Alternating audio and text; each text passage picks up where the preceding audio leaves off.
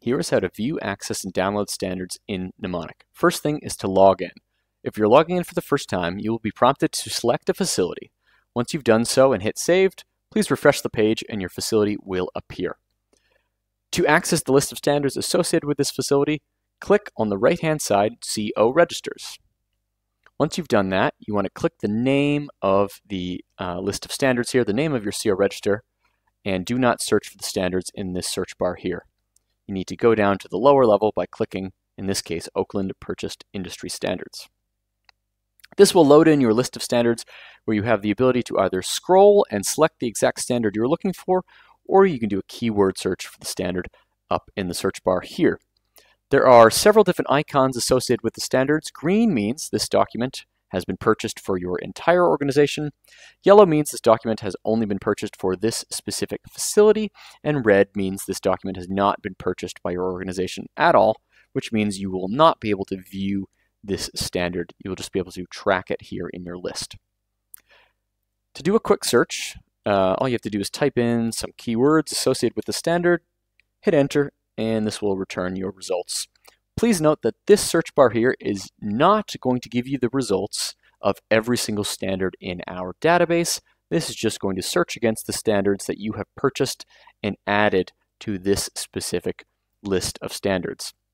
If you wanted to do a search of the larger library, all you have to do is click up here where it says Compliance Library, and then click Nimonik Library, and this would bring you to a page where you can do a search of Nimonik's wider database. From here, to access the standard, I'm going to click its title. This will bring me to the document page of, in this case, ISO 9001. There's a few things to point out on this page. Uh, you have the View PDF option. If we click this, this will take us uh, to a page where we can view the ISO 9001 standard. If the publisher allows the ability to download standards, you can click this to download a PDF version of that standard. That PDF version will have a watermark on it uh, to indicate that it's been downloaded by you and by your organization.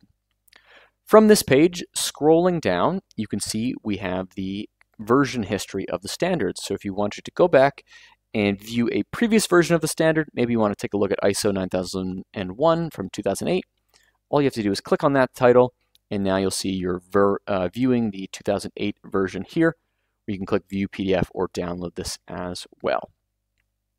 Let's go back to the current version. If I click View PDF here, this will take me to a PDF viewer online here where I can view my ISO 9001 standard. Uh, you have the ability to go through and go to a specific portion of the standard. You can also do a keyword search of the standard up here, or you can simply just scroll through and find what you're looking for or go to the exact page number. A couple other elements to point out on this page. As I mentioned, if the publisher allows it, you can download a copy of the standard. You'll download a PDF copy that's watermarked. You can also download a shortcut to this standard. This is helpful because uh, think of it like bookmarking the standard, except instead of having to go into your internet browser, you can have a tiny shortcut that could be available on your desktop. So let me show you how this works. So if I click download standard, You'll see that now downloaded uh, up here, I've got a copy of that standard. And if uh, I could put this in a folder or on my desktop, but if I just click this for now, you'll see that now this will redirect me back to the page uh, pretty easily with just one click. So downloading a shortcut gives you fairly simple and quick access to your desired standards list. So if you wanted to put together some sort of favorites list, this would be a good way uh, to do that there. On the left-hand side of the page, there are a few other options to view the standard. First, I'll cover this. This is if you want to view your standard or your documents offline, you could do so by downloading Nimonik's mobile application. All you have to do is click these links or scan the QR code.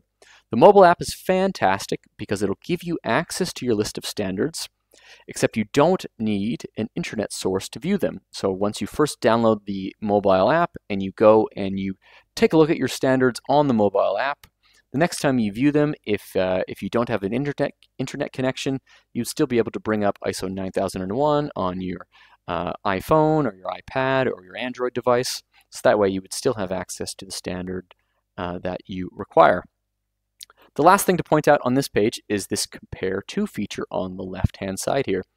If historical versions are available and the specific publisher allows us to create redline comparisons of the previous standards. You will have the option to click one of these and compare the current version of ISO 9001 with any of these previous versions. Now I've got this separate tab open here because sometimes it takes a little bit of time to load. But if I clicked this uh, compare to ISO 9001 2008, it would load in this page here. So here you can see on the left hand side we've got my 2015 version and on the right hand side we've got my version from 2008. The purple bubbles line up the exact portions that have been changed. The yellow indicates this section has been exactly switched. So here you can see it says 5th edition versus 4th edition. And here you can see the dates have been changed from 2008 uh, to 2015 here.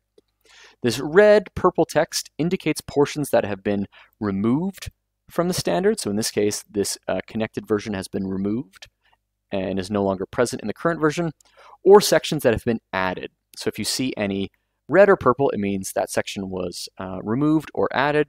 Yellow means the section has been directly substituted. And this purple cloud is telling you how to line up your standards there.